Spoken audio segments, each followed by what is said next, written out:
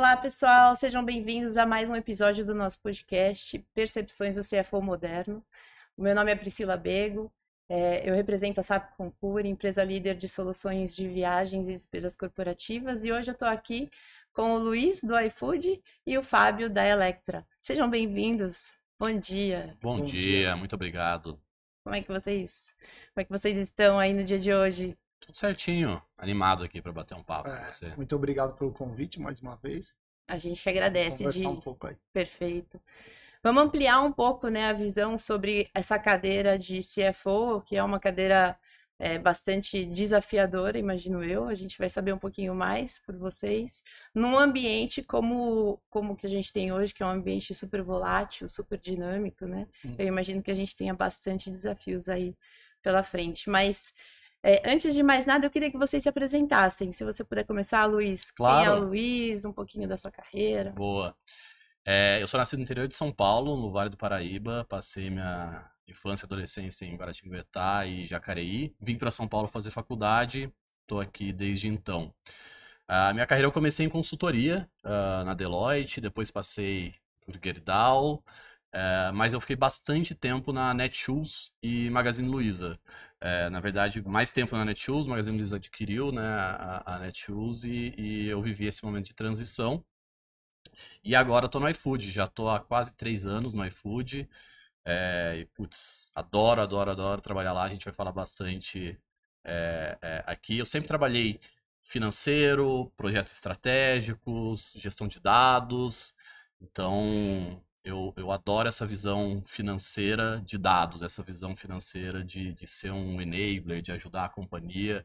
É, é, é, e na cadeira que eu tô hoje, eu consigo fazer isso, assim, me sinto super bem. Então, essa é um pouco da minha trajetória aqui. E foi uma mudança interessante de, de, de mercado, né? Porque pois é. antes era varejo, agora é, um, é, é, é algo bem é. diferente. Mas assim, eu acho que a maior mudança, na verdade, foi quando, quando eu saí da Gerdau e fui para Netshoes, assim, porque é aquele mindset de, putz, o curto prazo de um é cinco anos, né? São projetos grandes, plantas industriais e o curto prazo do outro é essa tarde, né? Assim, é, é, é, E esse negócio também de você poder testar muito, ver o resultado ali na hora, é, é super legal, assim. E aí eu mudei a cabeça, fiquei viciado nisso, assim. É, e aí pro iFood, é, eu acho que eu já estava até um pouco mais preparado para um ambiente mais dinâmico, mais rápido. Uh, e o iFood é muito assim, né? Apesar de, de, de já ter nível de receita grande, né? Assim, no ano passado a gente fez um bilhão de pedidos, assim, né? É, é, é, é grande, mas tem ainda uma cabeça muito de crescer, de, de fazer coisas rápidas, de testar muito. Então, é, minha carreira ela me moldou desse formato assim que eu adoro. Bacana.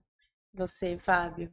Bom, sou Fábio, eu sou natural do Guarujá, eu fiz faculdade em Florianópolis, Federal de Santa Catarina. E depois da faculdade vim para cá. Minha faculdade original foi até Ciências da Computação. Aí eu vim aqui, comecei a, a, cursar outra faculdade. Aí depois aí entrei na área de finanças. E aí fui seguindo na área de finanças. É, comecei na Baxter, depois Carglass, Obertur, CVC. É, sempre na área de planejamento financeiro planejamento financeiro, planejamento estratégico, mas sempre trabalhando muito ligado, né, perto, próximo do negócio. É, nos últimos 10 anos, eu fiquei 5 anos na Schneider, como business controller, depois como gerente senior de FP&A para todo o Brasil. E agora, quase 6 anos, 5 anos, é, praticamente 6 anos que eu estou na Electa, como diretor financeiro da América do Sul. É, a gente vai falar um pouco mais aí depois aí da empresa, aí, vamos entrar um pouco mais em detalhe. É, mas é isso, peguei a, a, a, empresa num, num momento de grande transição, entrei junto com uma nova CEO lá, então esses últimos 5, 6 anos foram um ano de adequar a empresa, a empresa tinha uma, tinha uma, uma visão muito de vendas, então era muito expansionista, criar base instalada, eram os primeiros 10 anos do Brasil. Então, nesses últimos 5 anos, foi muito mais trazendo uma outra visão de rentabilidade, como deixar a empresa num, numa posição melhor aí no mercado. É, e muito, muito bacana aqui da gente poder compartilhar um pouco dessa experiência aí com vocês. Muito bom, muito bom. São negócios realmente muito diferentes, Muito né? diferente. Vão ser muito, vai ser muito rico. Mas ele já falou um monte de coisa aí que tem tudo a ver, É. assim, sabe? Essa visão de ambidestria, sabe? Do, do crescimento com a rentabilidade. Isso vale para todo mundo aqui, É. né? Que tá, que tá assistindo, enfim. Então, É, acho que essa, essa é a grande. É a grande. O grande segredo. grande segredo é como que você consegue, né, equilibrar, e acho que aí o CFO vem muito nesse, né, nesse ponto, né? O CFO é muito a, o engine aí dessa, dessa balança aí de sustentabilidade, longo prazo, com rentabilidade. Como que a gente consegue balancear investimento olhando para o longo prazo, mas olhando também a rentabilidade no momento, rentabilidade futura.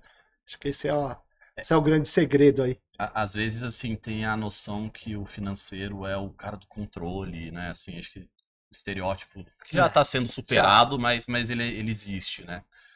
Cara, não é isso, assim, não é isso mesmo, assim. É- a gente tem que fazer é conseguir entender qual é o contexto e aí é, é, atuar de forma consistente, né? Então, poxa, o mundo está num momento de mais expansão, onde é, a estratégia da empresa tá mais, é, faz mais sentido crescer, inovar, super.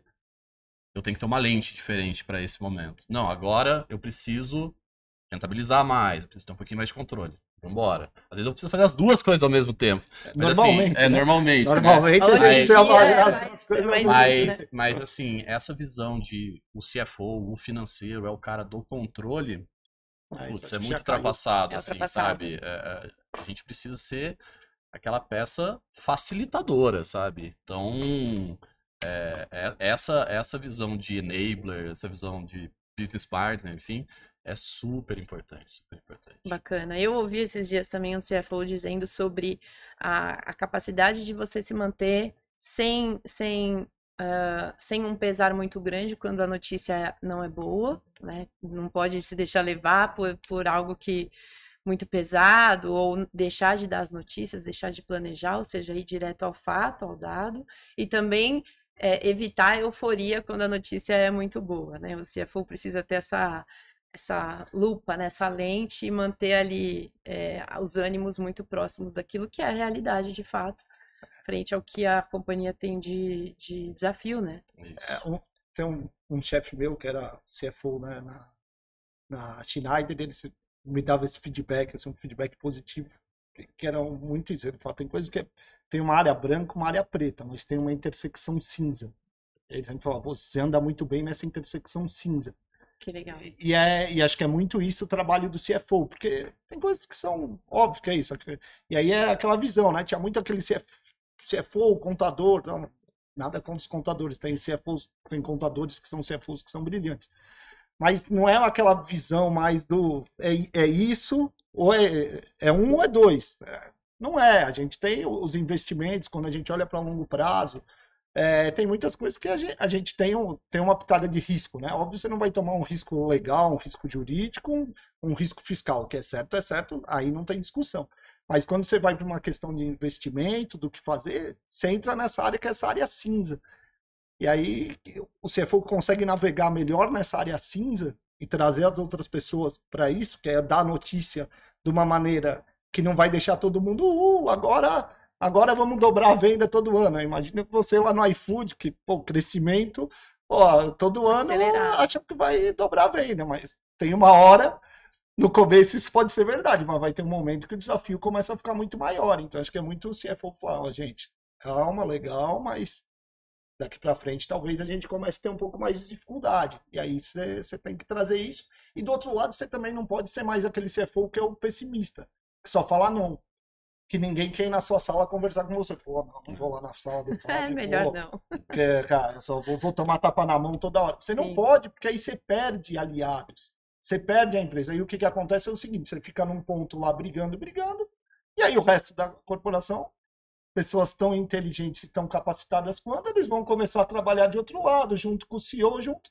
Ah, não, Fábio, fala, mas não, deixa ele, pô. Então É, não é. Então você tem que.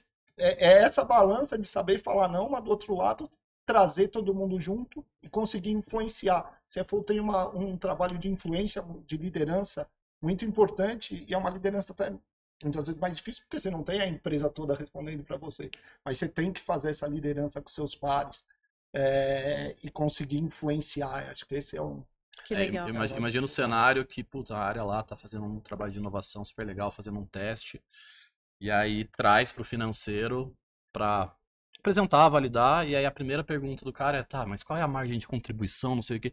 Cara, nem chegou nesse momento ainda, sabe? Assim, é, é, aí você mata o teste, que poderia ser um negócio super interessante para a empresa, né? Então, naquele começo ali, não é esse o, o, indicador de sucesso, né? O indicador de sucesso é, cara, o cliente amou, o restaurante amou, no nosso caso, o entregador amou, é, é... beleza. Aí depois você escala um pouquinho, em algum momento, obviamente, você vai ver o, os economics, ah, né? Você precisa para poder escalar, né? Vai, pode acontecer sim de, de, de não parar de pé e a iniciativa parar. Mas se você faz essa pergunta no primeiro estágio, putz, eventualmente você acabou com, com um negócio que seria super um incrível para a empresa. Né? Então, que... é, não dá para ter essa visão de, de, de controle assim, é, é, é usar a mesma lente para várias coisas. Um outro contexto, putz, um negócio mais maduro, mais previsível, que tem que tem riscos maiores, aí você adota uma uma outra lente e tem um outro tipo de controle. Mais então, para mim, assim, é, é, é, é tão importante. A coisa mais importante é isso: você entender o contexto e aí aplicar a lente correta para aquele contexto uh, e engajar a turma para que, que a empresa supere os desafios. Tudo Bacana, mais. muito bom. Vocês tocaram num ponto que certamente a gente ia, a gente ia tocar ali mais para frente, que é o quão importante é a parceria do CFO com o negócio, né? O quão importante é essa, essa ligação e, e, e o quanto isso é atual, né? Não, a gente não vê isso nos tempos antigos, mas nos tempos atuais, se essa parceria não existir, de fato, a gente, eu imagino que vocês criem dificuldades tanto para a ação de vocês quanto para o desenvolvimento do negócio, deixe de potencializar coisas, né?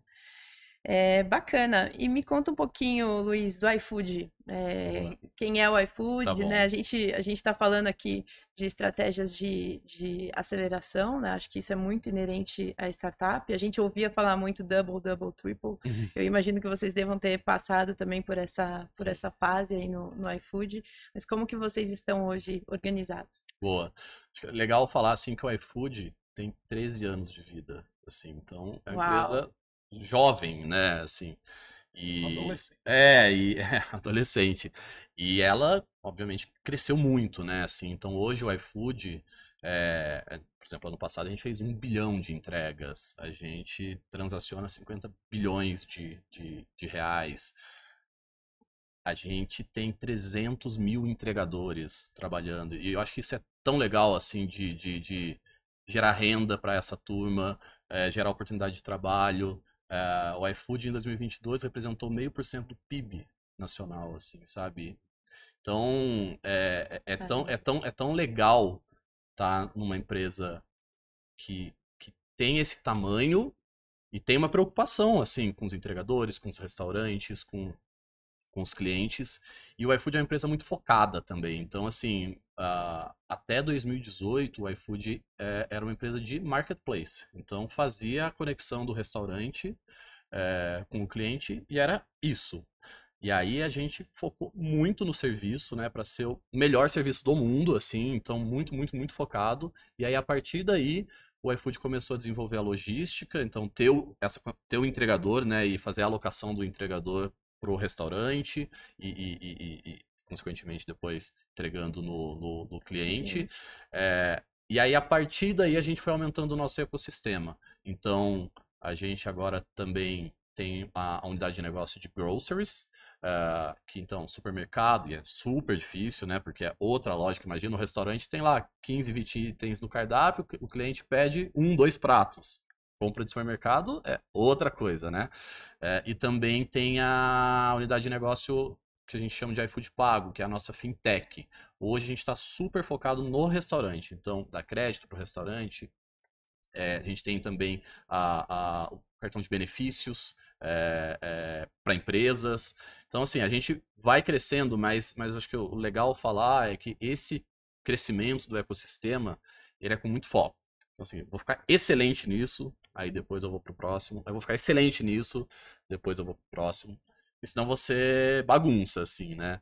É, então, então é, é, é, resumindo, assim, né? Hoje o iFood tem três grandes unidades de negócio, Food Delivery, e eu sou o CFO dessa unidade de, de Food Delivery, que é o mais conhecido, assim, a relação do restaurante, uh, Groceries e Pago.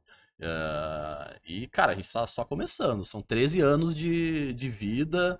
É, o, o, o, brasileiro pede 90, é, come 90 vezes no mês, então eu tenho muita refeição ainda para entrar, tem muito ponto de, de contato. É, e, e, esse é um negócio super interessante, porque às vezes fala assim, não, mas nossa, tá muito grande, não, mas... Cara, tem muita coisa ainda para fazer, que sabe? Legal. E aí eu acho que é isso que a gente tem que ficar puxando ali o time porque às vezes você olha a curva e fala, nossa, entrei num momento que já tá muito grande. Não. Não. Não. Se você tá com essa cabeça, você tá, você tá na empresa errada, assim, sabe? Então, é, é, é essa questão da cultura, assim, de crescer e de, e de, de é, conseguir ampliar contato. E, e, eu gosto muito da visão do, do, do círculo virtuoso, né? Então, quanto maior eu cresço, mais impacto eu gero, é, mais oportunidade para quem está trabalhando com o iFood é, gera, é, e é, e é uma, uma coisa positiva, obviamente, com sustentabilidade não só de impacto, mas financeira também, né? claro. né? Que aí aqui a gente, né, olhando mais no viés financeiro, é, é, a gente, quando eu entrei no iFood, eu tinha um, um, mandato, assim, de, de ajudar a rentabilizar mais e que fazia muito sentido naquele momento. E, e, e, e esse discurso era muito importante. Tipo, cara, é importante você rentabilizar, né? Para você ser sustentável e gerar todo esse, esse impacto positivo que a gente está comentando. Voltar dinheiro para o negócio, é continuar investindo, crescer mais. Gerar mais oportunidades. Muito bom. É, então, falando um pouco da Electa, né? A Electa é uma empresa focada em radioterapia, então são equipamentos para tratamento do câncer. É, então, é uma empresa bem de nicho, mesmo dentro do universo hospitalar, a radioterapia é um nicho. Ela que é uma empresa sueca, com 50, 52 anos agora. É, aqui no Brasil a gente está há 15 anos. Aqui do Brasil eu sou responsável por toda a América do Sul. Na América do Sul a gente tem operação direta. E aí nos outros países a gente atua via distribuidores e aí temos alguns headcounts de venda, serviços espalhados pelos outros países da América do Sul. É, falando um pouco do negócio, né? Nosso negócio é a venda né, dos equipamentos. Então, são equipamentos de altíssimo valor agregado. Então, são equipamentos de uma radioterapia que vão na cara, em média, de 2 milhões de dólares, até uma radioterapia hoje que a gente tem, que é uma radioterapia com ressonância, é, que aí é um equipamento de 10 milhões de dólares. Que infelizmente a gente não tem nenhum na América do Sul ainda, espero, né, trabalhando para que semana passada eu estava numa reunião para tá a gente possa ter, tá, tá no pipeline. pipeline. É, esse é um equipamento de fato disruptivo, porque você consegue ter uma né, como que funciona um pouco, né, só a radioterapia, sem entrar muito em detalhes, mas é você vê onde que está a célula, né, do câncer, onde está o câncer, e aí você irradia no lugar do câncer quanto mais imagem, quanto mais detalhes você tem em tempo real, em, em onde está, como esse câncer está, tá, como está se movendo, mais preciso você consegue ser. Então, mais forte você consegue dar, dar o tiro, né? Que fala que é o tiro de radiação, com menos efeito colateral. Sem pegar, sem, né, sem irradiar para as outras células, sem, sem estragar as células saudáveis, exatamente. E o câncer assim, é uma célula que se reproduz muito rápido. Então, quanto mais dose você consegue dar e tratar em menos sessões, mais chance de cura você tem, né? É, e é nisso que, que então são equipamentos com muita tecnologia e é isso. Os aceleradores hoje lineares padrão, eles têm um tomógrafo e aí esse unit ele, ele tem uma ressonância, então você consegue ter muito mais precisão. Então você consegue tratar muito melhor, então isso de fato pode ser a diferença entre, os, entre a vida e a morte, assim. Né? Legal. É, acho que é isso, nosso modelo, um pouco, né, falando só um pouco uma parte mais financeira, né, do Sim. modelo de negócio, né, nosso modelo de negócio é a venda das máquinas, que basicamente é um projeto. Então, nosso As máquinas não existem ainda quando, quando é feita a venda, né? É, é, não. ela é, Ela é feita sob demanda. sob demanda e, e- e o processo de instalação da máquina é um processo que dura em média aí cinco, seis meses, porque tem muito o tempo de instalação demora muito, mas depois tem um tempo muito grande de treinamento também. Então tem a instalação, tem o treinamento dos físicos, dos, dos médicos e o próprio processo de negociação é muito grande. A gente vai visitar um cliente, em média, um cliente que você visitou hoje, até você assinar o pedido, óbvio tem casos e casos, mas em média você está falando de um ano, 18 meses, é uma É negociação um muito ciclo de venda muito É longo. um ciclo de venda muito longo. E aí no- nosso negócio é a venda das máquinas e depois uma receita recorrente de serviço, porque depois tem a manutenção. manutenção dessas máquinas, serviço de peça. Então esse é o nosso modelo, modelo financeiro da empresa. Bacana. E você falou que tem distribuidores também, né? Em Esse- toda a América, na América do Sul, no Brasil a atuação é, é direta nossa, a gente não tem nenhum distribuidor, Tá. mas aí nos outros países da América do Sul a gente atua com distribuidores. E a manutenção também é feita por vocês, não tem. A manuten... Dos outros países, a manutenção é, é junta. A gente tem um modelo que é assim, o distribuidor dá a manutenção, mas obviamente eles são todos treinados é, pela equipe da Electon. O processo de treinamento de um, de um engenheiro, de um técnico, quando entra lá, é um processo muito longo. Aí os distribuidores passam pelo mesmo processo. É, e aí o distribuidor tem o contrato, só que a gente tem um contrato de fornecimento de peças junto com esse distribuidor. Tá. Então é o nosso modelo de, do, do contrato é esse. É, o risco da peça ficar com a gente, quando é um contrato que as peças já estão incluídas por um FII, e o distribuidor ficar com o labor do contrato. E deve ser um serviço muito especializado, né? Você estava comentando com a gente que existem físicos no negócio, né? Os Fi- técnicos É, ali. o, quem opera, é, quando a gente fala essa nossa equipe de treinamento, a maioria é ou dosimetrista ou físico médico. Os operadores de máquina, né, para operar uma máquina de radioterapia, você tem uma equipe grande, assim, você tem um médico, o radioterapeuta, mas você tem um físico médico, que é quem vai operar a dose, o tamanho, vai, vai ajudar a de- delinear o desenho, e, e aí você tem um quimio, é, é, e, e, e você tem mais o outro, que agora não faltou o nome, mas o que, é, que vê a parte da, da, da- do tamanho da dosagem, se não pode ser tão alto, se não pode ser tão baixo. Então é um. É, é tem uma parte médica, mas tem muito de exatas envolvida no final, assim. Bacana. Bem diferente, né? É, bem Muito legal. É Super especializado, né? Super, exatamente. É, é um, é um negócio super de nicho, super especializado e com uma tecnologia muito grande envolvida, né? E aí cada vez mais nas máquinas. Então, até é, questões de inteligência artificial, a gente lançou agora um último equipamento e o Unity também tem essa. Então, você tem uma questão de, de inteligência artificial envolvida que ela ajuda, primeiro ela ajuda numa melhor definição da imagem. Então, com a imagem, você consegue com a inteligência artificial ter uma melhor uma melhor visão da imagem, então aquilo você consegue ser mais mais efetivo.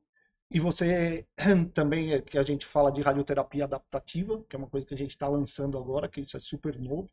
É, você consegue prever, inclusive, os movimentos do corpo. Então, você está você tá fazendo uma radiação no pulmão ou mama da mulher. Então, você pega o movimento de. Conforme respira, você mexe, né? Milímetros, mas você mexe. Então, você consegue fazer o feixe e acompanhar, inclusive, A respiração. a respiração. Uau. Que tecnologia. É muito legal. Muito legal. Bacana, muito legal.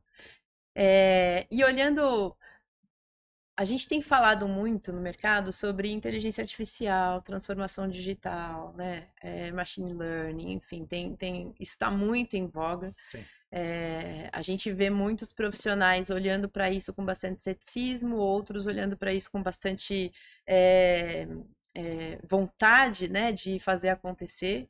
É, eu imagino que no negócio de vocês, né, É, olhando eu para os outro- negócios. do- do- desse lado com vontade. Com assim, vontade. é. E assim, os negócios requerem muito isso, e imagino que isso deva ter bastante na, na- nas, nas entregas, né? Mas olhando para a cadeira de vocês, né? Olhando para a área de finanças das companhias. Como que vocês acham que isso, essa, essa onda toda pode ajudar, pode agregar, pode fazer diferença? Eh, vocês já conseguiram enxergar pontos específicos ali onde de fato um item, uma robotização ou uma inteligência artificial, um machine learning na operação financeira esteja contribuindo com vocês ou pode, pode vir a contribuir? Nossa, super, assim, super. Eu sou. é, tenho estudado, assim, lá no iFood a gente fala muito disso já há algum tempo, tá? É, a gente tem parceria com a OpenAI, por exemplo, já há bastante tempo, assim. Então, é, é muito incrível ver o que está acontecendo.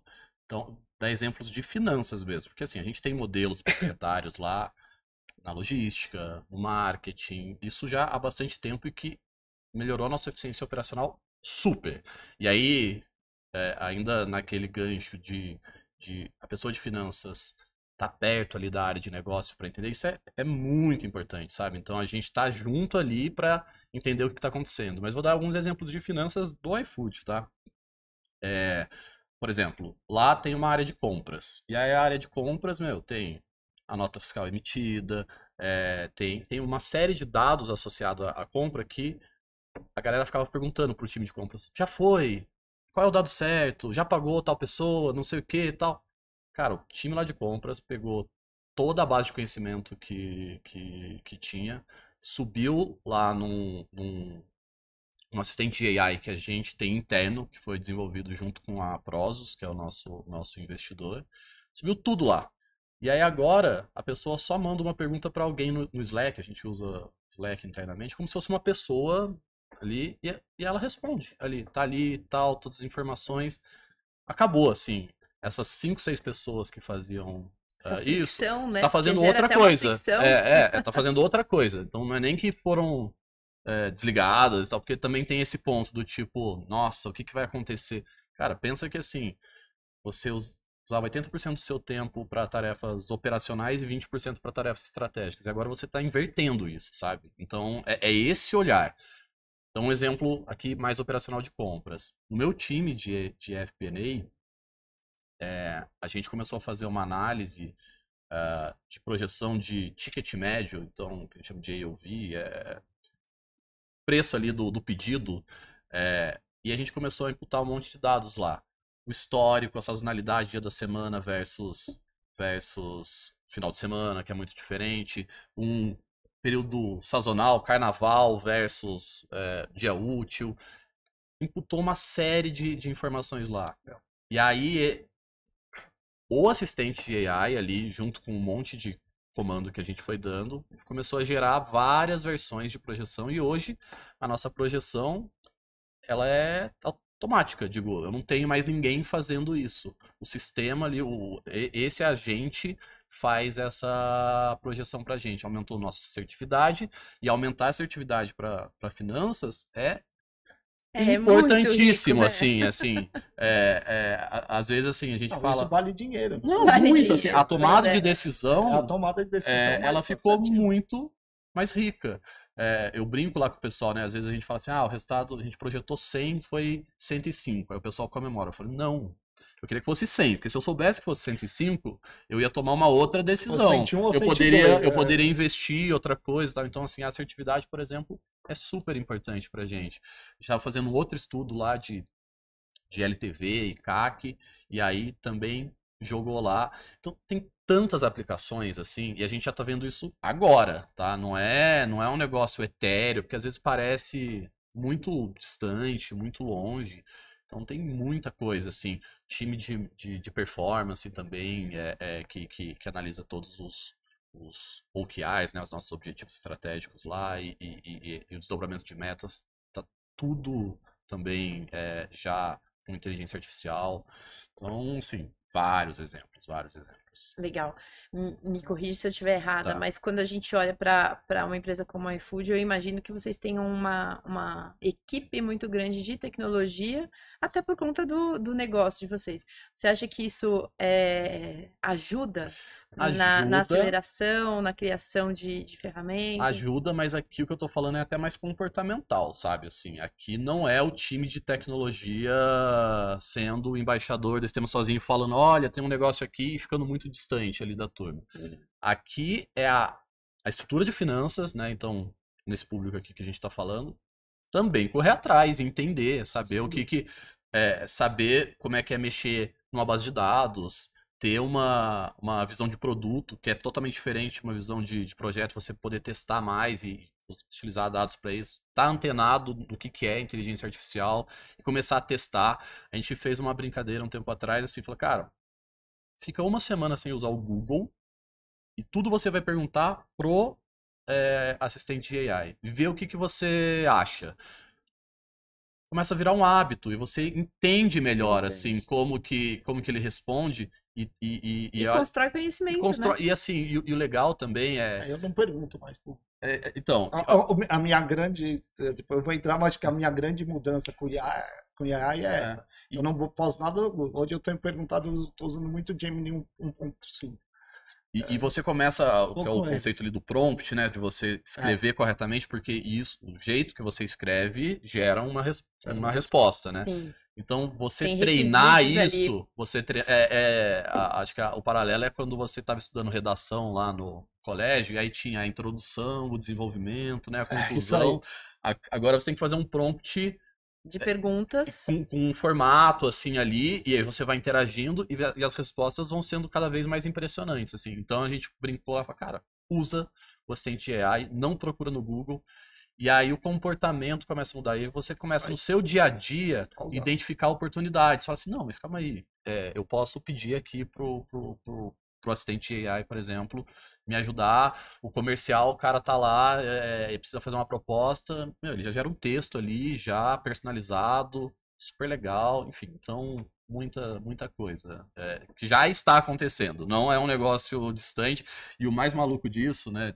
Você que gosta do tema também, é que daqui três meses vai estar tudo diferente tudo de novo. Diferente. Sabe? Então, assim, é, é meio assustador, rápido. assim, é né? Mas, mas, assim, cara, é Estude, rápido. porque é, é, é, é lá na frente as pessoas não serão substituídas por, por IA. Mas elas serão usar. substituídas por quem sabe usar IA, entendeu? Então, assim, é, é super importante. Não, muito legal. Bom, acho que o iFood hoje já está, acho que na frente da maioria tá, das empresas que eu tenho conhecido, tipo, conversado. Acho que é muito legal o depoimento dele. É, mas acho que, assim, tem um ponto aí. Eu sou formado em ciência da computação originalmente, eu fiz faculdade entre 2000 e 2005. Eu não já... existia IA ainda. Opa, já tinha. Eu já, tinha. eu já tinha uma matéria que era IA e essa matéria ah, provavelmente já devia estar na grade curricular desde 1980. Então, assim, IA não é uma coisa nova. Principalmente o IA que a gente está usando. O que aconteceu, na verdade, que eu vejo é assim, chegou o IA generativo Isso. com o chat GPT, e aí todo mundo começou a olhar para IA. Mas muitas das coisas que a gente fala IA, na verdade, são processos de automatização que já tinham antes, só que com, com essa, né, esse hype assim de IA generativo, as empresas começaram até a investir mais em processos de automatização que já até poderiam já estar sendo feito antes. Começaram a, a investir mais e ter outros processos. Quando eu penso na IA generativa, acho que tá, tá, a gente tá no, a pontinha do iceberg em questão de uso. Esse exemplo que você deu de já ter uma pergunta, uma resposta, já é um exemplo muito legal. Acho que de todos que eu conheço, é, é, a empresa que, que me deu um exemplo concreto melhor, porque de todo mundo que eu tenho, com, com, ainda está muito no início. E aí eu vejo que sim, é o grande ponto que a gente tem é a questão de dados. Então acho que esse é o grande ponto. É, você precisa ter os dados organizados de uma maneira correta antes de você ter qualquer IA. Então o que eu vejo hoje, as empresas ainda estão nesse momento do, da organização de dados. A gente na Electa tem alguns planos global, tem, tem algumas pessoas é, fazendo um teste do Copilot, Copilot 365, se a gente vai adotar, não vai, então a gente tem. Mas é isso, a gente ainda usa muito mais IA nos nossos equipamentos uhum. do, do, que, que dentro, do que dentro de casa. Eu tenho incentivado muito meu time assim a usar, né? Até fiz lá uma, uma, uma fiz um desafio. Você trazem alguma alguma algum projeto, algum projeto que vocês que a gente que vocês vão ter uma remuneração extra, vou dar um salário a mais, vou dar eu vou dar, vai ter uma vai quem conseguir trazer um projeto, alinhei isso e falei, a gente vai vai, vai trazer Super legal, a gente fez coisa. isso lá e foi muito bem, assim, oferecer curso, oferecer um monte de coisa, oferecer assim, coisa para fazer, assim. exato. E eu, e eu é exatamente isso que ele falou, eu de, isso começou agora, de um, um dois meses para cá, que eu, assim, eu, eu aboli o pergunta para o Google, tenho usado muito no meu dia a dia. É, e dar um exemplo, uma, uma, coisa boba, mas que um exemplo na prática, eu estava semana, semana passada é, fazendo uma apresentação para o EVP Américas, aí eu precisava do PIB de todos os países da América do Sul nos últimos anos. Aí eu fui lá procurar e falei, não, peraí. PIB, tá, cara, num minuto ele já me deu uma tabela com o PIB dos últimos anos. Eu falei, nossa, variação do câmbio de 2017 até agora. Então, ah, falei, ah, que beleza. ah, é assim, uma coisa boba, mas brincando, eu economizei uma hora. Sem dúvida, você ia levar E muito em tempo mais que eu tempo. tinha, ia puxar do Banco Central o câmbio, você puxa de seis em seis meses, calcula. Ah, Eu ia levar, um- eu- eu- eu ia levar uma hora para fazer a tabela do câmbio, mais, do, mais a variação de PIB dos países. Eu fiz em cinco minutos com, com o IA. Então é isso, acho que acho que aí e é isso aí vai, vem de cada um, né? Eu falei isso para mim, para muito para minha equipe, exatamente isso que você falou. Falei, vocês precisam correr atrás. Vocês não adianta esperar a empresa correr atrás. Até porque é isso, né? Também tem um AI que é um pouco romantizado, mas assim, a gente sabe que o fim da linha disso, se eu vou investir muita grana em AI, hoje você tem pessoas precisando fazer outras coisas, mas vai ter um momento, você vai precisar ver, a, a empresa não consegue su- é, crescer na mesma velocidade, de repente, do que você está investindo, e você, e você talvez não vá ter onde alocar algumas pessoas. E aí vai, obviamente, o mercado como um todo sempre se adapta. Vai né? se ajustar. Olha quantas novas profissões não surgiram nos últimos anos. O que era um influencer? Não existia isso. Hoje os influencers ganham, a receita de todos os influencers deve ser alguma coisa em torno de 10, 20 vezes maior do que de todos os atores juntos, hoje em dia. Ah, não, nem existia Não essa profissão um tempo É. atrás. Então, é, outras coisas surgem e, e- e se adapta. Mas é fato que quem não, não tiver conectado e não souber usar a inteligência artificial, daqui a um, dois anos, vai virar um profissional defasado e pode, de fato, ter uma dificuldade de se recolocar no mercado e tudo. Então, Sim. é importante e acho que é isso. Tem que vir muito mais das pessoas. Acho que as empresas estão trabalhando.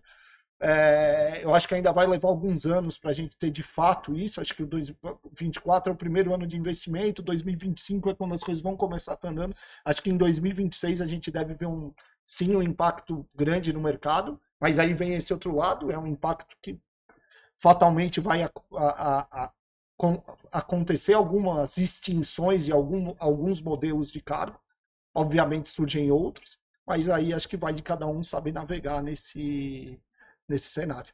Fábio, o que que você vê assim do time, né? É, eu vejo que existem pessoas que ainda resistem muito. A gente trabalha muito com, com inteligência Ah, artificial, automação de processos e tal.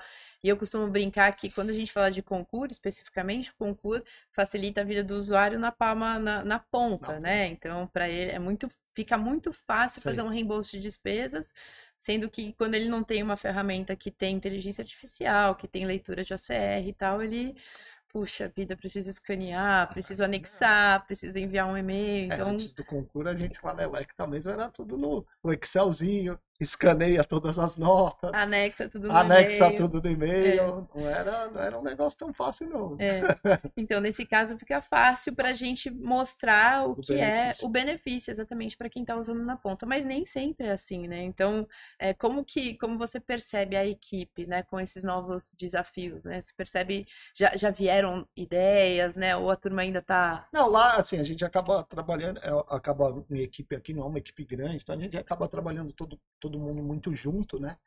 É, então acho que estão super engajados. Tem uma pessoa da equipe que já está tá num grupo, tem um grupo do Financia, que é um grupo específico que está tá, estão entrando em alguns detalhes de IA, ideias. trazendo nossas ideias. Então, um, um entrou num grupo, um outro está estudando algumas coisas.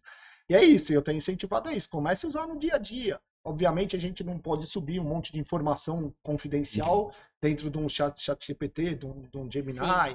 Mas, cara, você pode subir uma tabela onde você tira o nome. É, anonimiza. Tira, né, tira o nome de todo mundo, sobe uma tabela, pede para ele trabalhar, você volta nela, você faz um PROC V, tá pronto, entendeu? Então você, você tem, tem maneiras de usar, Sim. mesmo você não tendo ainda uma ferramenta, uma ferramenta implementada. E é isso que eu tenho incentivado. Meu, vai porque é, é bom para a Electa, sem dúvida, mas o, o- quem mais vai se beneficiar disso são vocês. Porque vocês vão estar melhores profissionais, Profissionais. vocês vão ter mais tempo para fazer um trabalho muito mais prazeroso de análise do que ficar montando planilha. Então, pô, é, o- quem vai ganhar no final é o profissional. iFood também. Também, mas assim, eu acho que é legal a, a, a jornada, assim, né? E, e realmente, assim, o iFood, ele, ele tá num, num nível legal, assim, de, de entendimento do que é e, e colhendo resultados, mas porque isso já está sendo trabalhado há algum tempo, assim. Então, por exemplo, é, eu lembro que quando eu entrei no iFood, isso já existia. É, todo mundo que entrava no iFood tinha que fazer um curso de dados, saber programar minimamente, em finanças. Finanças. Então não é, não é o time de tecnologia. Então, o analista júnior, o diretor, saber Todo lá, buscar entrava no time dados de finanças era um tinha, pré-requisito. era um pré-requisito, assim, fazia parte do onboarding. Aí depois a gente começou a evoluir para visão de produto. Então, cara, saber o que é testar rápido, se apaixonar pelo problema e não pelo, pela ideia, né? Então, muda um pouquinho o mindset também, assim. Tipo, cara, tem esse problema aqui para resolver. Eu preciso chegar nesse resultado. Como eu vou chegar lá? Eu vou testar um monte de vezes. E aí saber mexer isso com dados. eh, ah, e aí agora, essa fase mais recente de, de inteligência artificial e de generativa, né? Como, Sim. como Fábio- é, isso já existe, né? Inteligência artificial já, já, já, já tem um tempo. E, o interessante também é trabalhar de forma proprietária, que a gente fala lá, porque, cara, aí é, é- é seu, assim. Aí, é aí você tá criando uma vantagem competitiva, né? Então, é uma jornada que já tem algum tempo, e, e aí é o papel ali da liderança a, a transmitir essa mensagem e, e do colaborador entender que, que é o ganha-ganha. É o ganha para a empresa, que vai ser mais é, é, produtiva, mais eficiente, vai crescer, vai gerar mais impacto, é, e para ele, profissional, que vai ser um profissional mais completo e que, inclusive, é- cara, tem um risco. Se você não se, É. se, se adaptar, cara, você tá correndo um risco sério, assim. É, quem está Então- mais em risco no final é o colaborador É. nesse caso, porque você vai jogar contra, não dá para jogar contra no Uma movimento, tendência, um numa movimento tendência, num global, é. porque ele vai, vai jogar contra, pô, no iFood agora tem isso, então vou mudar para outra empresa, porque lá ainda não tem. É. Pode não ter hoje, daqui a um ano vai ter, e aí vai ter um momento que ele vai falar, ou eu me adapto a esse novo cenário, busco ter alguma outra skill para esse novo cenário, ou porque não adianta, aí, pensando em finanças lá, cara, não adianta quem vai lá, a pessoa que fica emitindo nota fiscal. Pô, tem empresa que tem milhões de pessoas, hoje já tem processos muito mais automatizados que você já não, não tem mais praticamente ninguém nessa área. Então imagina aquela pessoa que só faz nota fiscal. Se ela ficar presa nisso, não, mas eu não, tô tranquilo, em 15 anos eu me aposento, só 15 anos. Não dá, não vai ter mais. Vou- Daqui, vou daqui a digitar nota três durante anos não vai ter 15 mais ninguém. Vai é. ter uma pessoa olhando o trabalho que. revisando milhares de notas fiscais que vão ser geradas Aplicando inteligência, de fato, né? Exato. Aquele tema, né? É isso, exatamente. Bacana. Vocês são dois CFOs muito, muito é, conectados na, na, na modernidade da, da inteligência artificial. É muito legal, porque a gente vê que muitas, muitas organizações ainda não conseguem encontrar exatamente a aplicabilidade, né? Tem bastante gente ainda que está olhando e fala, puxa, como exatamente eu aterrizo esse tipo de projeto? Que tipo de investimento eu preciso? Como é que eu monto um time multidisciplinar? Porque necessariamente precisa ser um time multidisciplinar para olhar para isso. Como você falou, o profissional de finanças tem que saber programar minimamente e entender dados. É, não necessariamente né, só um ou, ou só outro. Então, é, são desafios que, que a gente tem com relação a novas tecnologias e que eu vejo que vocês dois já já estão passos aí adiante nisso. Muito legal. É, olhando para cadeira de vocês, assim, é, qual a visão que vocês têm do CFO do futuro, né? Eu queria que vocês falassem um pouquinho disso. Então, o que que, que, que a gente, que que a gente tem de pré-requisito daqui para frente e quais são os principais desafios atuais de vocês, né? Quais são as preocupações, que pontos que ainda não estão não estão tão bem resolvidos, não estão, né? São preocupações de fato que vão, vão chegar daqui a pouco. Acho que do CFO do futuro, assim, acho que é muito, acho que é muito isso do que a gente já falou, né? Não é mais o CFO, não é mais aquele contador, é, obviamente pode ser o contador, mas não é aquele cara que ele Comando sabe e controle, né? comando e Só- controle, é. que ele sabe tudo de contabilidade, sabe tudo tributário, fiscal. Obviamente é importante, né? Você tem que ter uma boa base, mas você não precisa ser um especialista, você não precisa ser um especialista fiscal.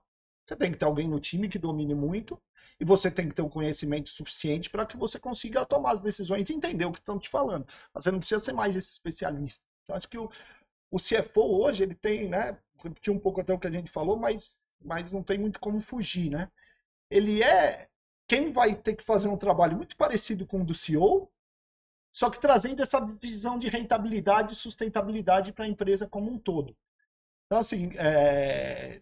vou dar assim, o meu exemplo. Eu, hoje, o meu tempo, eu acho que é metade dedicado para finanças, tradicional, outra metade é dedicado para estratégia e, e, e, áreas comerciais. Como eu falei desse, de, dessa reunião que eu estava, numa reunião comer, estritamente comercial. Quarta-feira, antes do feriado, ainda a reunião se atrasou, perdemos o voo, tive que mudar o voo para quinta-feira do feriado para voltar para cá. Mas tudo bem, faz parte. Eu sou, eu tô muito em campo.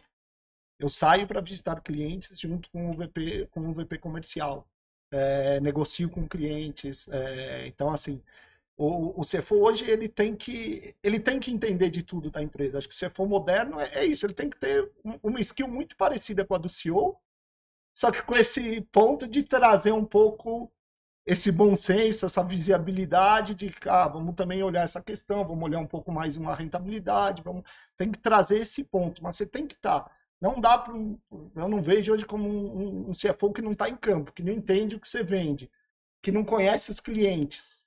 Não, numa posição dessa não dá. Então, acho que hoje é, é, muito esse mix. Você, obviamente, tem que ter essa visão, você, tem, você é o responsável pela, pelas questões financeiras da companhia, então não é que você não vai fazer isso, não vai virar um, uma pessoa comercial 100%, mas você tem que estar muito interligado com as outras áreas, com áreas de comer, comercial, no meu caso, serviço, instalações, você tem que estar muito inter, interligado com as outras áreas para trazer essas questões mais estratégicas da empresa. É um, não, e principalmente isso no nosso mercado. A gente tem um mercado que é diferente do resto do mundo. A gente está em crise ano sim, ano, ano não. Também, também não, não tem. O nosso é um mercado que, se você não trouxer a, a empresa que, a, que tiver aqui no Brasil e América do Sul, posso falar da América do Sul como um todo. Chile até um tempo atrás, mas nem o Chile que antes salvava hoje já está tá no mesmo modelo. É, que achar que aqui está tudo tranquilo. Não, está tudo tranquilo, vai tudo andar bem. O governo vai agora aprovar uma reforma tributária que vai ser ótima. Não vai, não existe, não vai, isso não vai acontecer. A gente espera que não aconteça um grande catástrofe que nem o Covid, que aí sim é uma coisa fora. Mas os pequenos catástrofes do dia a dia aqui já são esperadas. É... Então o CFO tem que ser alguém que está. Que acho que tem que estar tá muito dentro do negócio como um todo para conseguir trazer essa visão e influenciar o resto da, do, do, time, dos líderes, de uma maneira Você geral. Você diria, então, que parte, parte boa da sua preocupação é, é esse cenário volátil de mercado, de cenário macroeconômico, de... A ah, gente estava falando um pouquinho antes sobre é, regulação de é preços é isso, e tal. É isso, aqui, aqui é, é, é, isso, não dá. A hora que você achar, acho que é, é a derrotar cada hora que você fala. No Brasil até o passado agora, muda, né? Passado não, é, muda. Não, é, não, é, só, não, só o futuro. Exatamente. Então, sem dúvida, a preocupação é, é, é essa é a, é, é, a preocupação. E assim, você também não pode ser uma pessoa super negativa, né?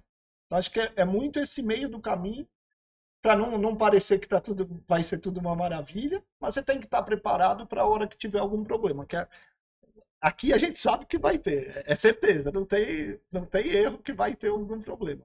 Obviamente, eu sou uma pessoa muito positiva. Eu sempre falo, não, vai dar tudo certo, né? Assim, o Débora sempre brinca muito comigo. Não, fala, fala, fala. Ela fala. Não, eu falo, vai dar tudo certo. Relaxa, vai Relaxa. dar tudo certo. eu, eu, sou uma pessoa bem... Mas você tem que estar sempre com... Né? Não é nem o plano B, né? O plano A tem que estar sempre armado, porque você sabe, não, não, não dá para você achar que, que, não vai ter, que não vai ter curva nesse caminho. Vai ter. É, é, é, isso, assim, né? Num contexto mais complexo, num contexto mais incerto, você tem que ser mais rápido, você tem que é, é, entender isso e, e, e, agir rápido, assim. Quando a gente olha para o passado, as coisas, as empresas brasileiras, empresas mais estáveis, com mais previsibilidade, muito associado, por exemplo, a commodity, é outra, outra coisa agora, né? Então, o, o CFO moderno tem que ser essa pessoa uh, uh, atualizada, que consegue ler bem o ambiente, tomar decisões ali também rápidas. E, e eu acho que eu gosto, assim, lá no iFood mesmo, por exemplo, a gente trabalha com ciclos curtos. Então, a gente está sempre revisando. Óbvio que eu tenho uma, uma visão, né? Eu tenho um. Quero chegar lá daqui 5, 10 anos, mas um, Eu não me apaixono pelo, pelo projeto, eu me apaixono pelo resultado que eu estou buscando, né? E, e, e aí uh, eu vou fazendo os testes e, e, e para chegar lá. E aí o CFO, o exemplo que eu dei, ele não pode ser o cara que vai barrar a iniciativa logo no, no começo. É, então é, é, é, muito importante você estar tá conectado com, com os outros times, super concordo, assim, meu tempo hoje, eu, até menos finanças e mais, mais outras áreas, assim, é você ser visto como alguém que está ali ajudando, parceiro, e não o, o blocker. Uh, e aí tá atualizado, tá estudando, né? Acho que é, é, tão legal, assim, a gente tá falando de, puta, como que a gente é, é, incentiva o time e tal. Cara, as informações estão disponíveis, né? Hoje você pode acessar o melhor livro do mundo, o melhor vídeo do mundo, o melhor autor do mundo sobre determinado tema fácil, assim, sabe? Então, é, cara, você, tem que se atualizar, sabe? Não, não, não tem desculpa para isso não, não é. acontecer. Então, então a, a, acho que é isso, essa, essa visão mais uh, uh, flexível, assim, de, de entender contexto é, é, é, é super importante. Deixando claro também que alguns cenários, alguns nichos, alguns ambientes são mais. É, você precisa ter um pouquinho mais de, de segurança, né? E tal. Então não, não é só, só essa bagunça, ainda parece que é uma bagunça, mas é, é, é, é entender ali o ambiente que você está. Muito bom. Puxa, é, a gente precisava de muito mais tempo aqui para conversar, mas eu não queria deixar de tocar num ponto que é super é, importante, vocês dois, a gente estava falando um pouquinho antes, vocês são, são pais, né? Tem a, a família de vocês. Como que é, como que é isso junto com o CFO, junto com o, o, profissional, né? Como que vocês trabalham esse esse equilíbrio, né? Hoje a gente fala muito mais sobre uma vida mais equilibrada do que antigamente, onde era muito mais comum profissionais muito workaholics e, e mais ausentes ali do, da sua vida familiar. Como é isso para vocês hoje? É uma realidade? É uma preocupação?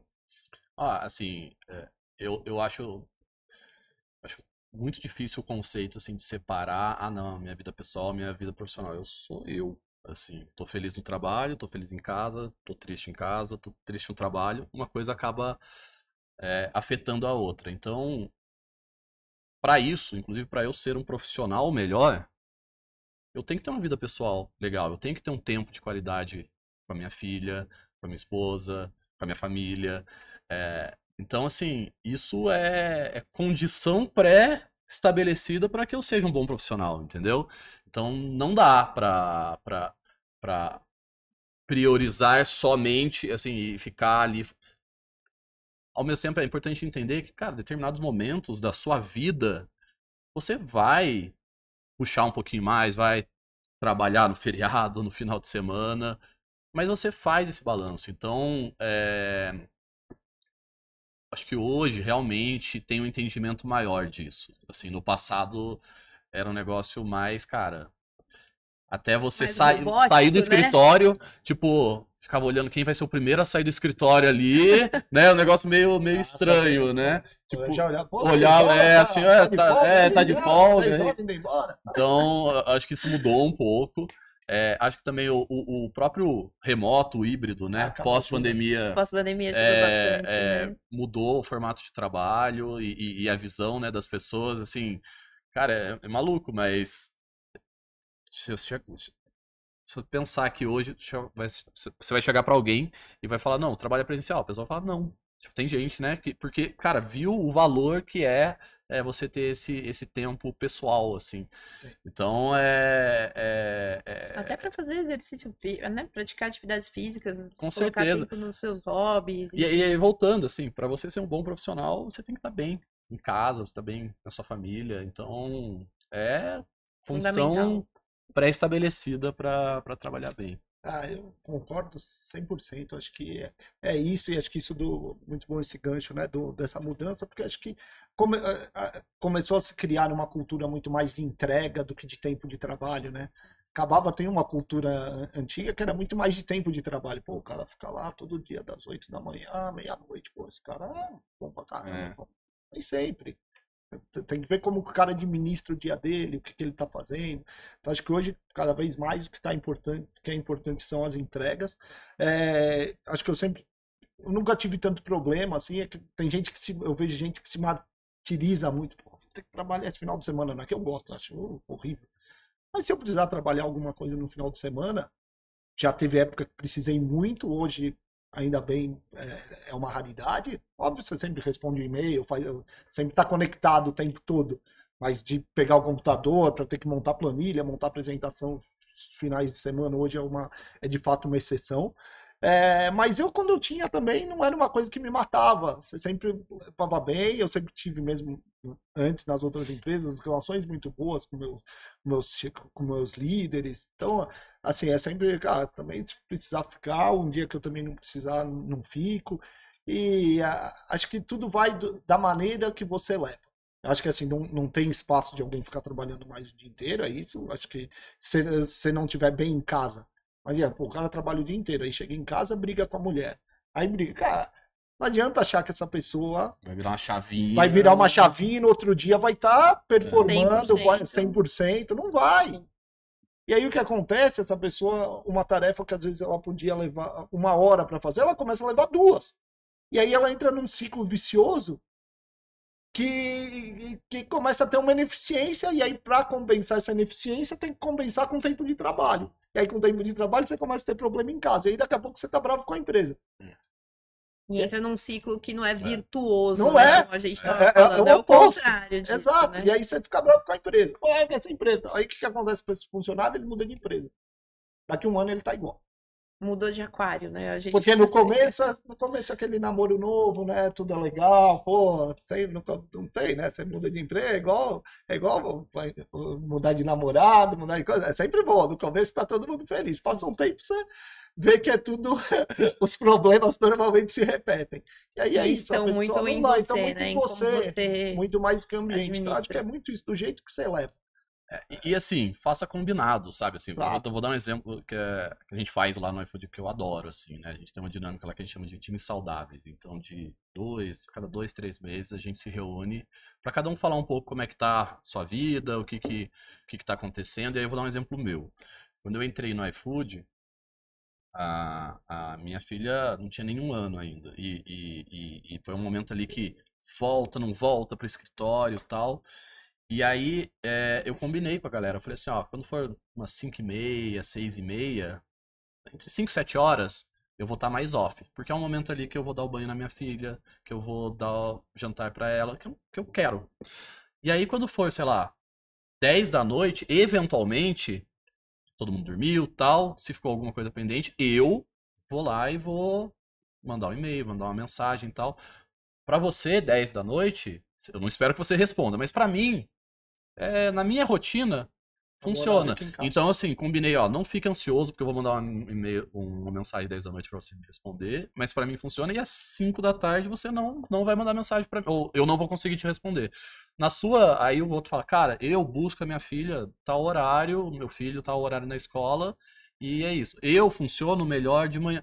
Então, assim, também, cara, seja razoável, né? Tenha bom senso, converse com as pessoas, e aí você traz um equilíbrio bacana. Então, para mim funcionava super. Eu parava ali naquele momento, óbvio, ah, tinha uma reunião importante, tal, enfim, mas eu priorizava é, esse momento ali e aí depois eu voltava e fazia o combinado. Então, é, é super possível é, fazer isso, é, assim, sabe? Esse, esse, diálogo aberto, é. Cara, isso é o que mais funciona. Porque o que importa é a entrega. É, é não é o, entrega, a pessoa estar ali pronta, pronta né? Esperando, esperando para ser o primeiro a responder o, o Teams do chefe. Não é isso que e vai desmistifica, mudar. né? Algo que é, existe na vida de todo mundo, né? As pessoas têm filhos, as isso, pessoas buscam os filhos Ser escola, vulnerável, né? Mostrar ter, exato, os seus pontos. Né? Todos, todos têm é, características, têm, têm pontos que são importantes de serem atendidos além do trabalho, né? Quando tem a oportunidade de conversar, super bacana isso.